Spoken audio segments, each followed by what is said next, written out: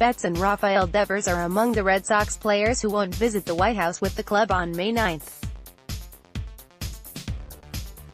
Red Sox outfielder Mookie Betts reportedly said that he will not visit the White House when Boston makes its celebratory trip in May, according to Peter Abraham of the Boston Globe. On Saturday night, Betts accepted his Most Valuable Player award during the New York Baseball Writers Association of America dinner. The 26-year-old commented on the Red Sox plan to attend the White House to commemorate the club's 2018 World Series title. The trip was reportedly rescheduled from February 15 to May 9 in wake of the government shutdown. I won't be going there, Betts said. I decided not to. For Abraham, Red Sox third baseman Rafael Devers has also said he will not attend.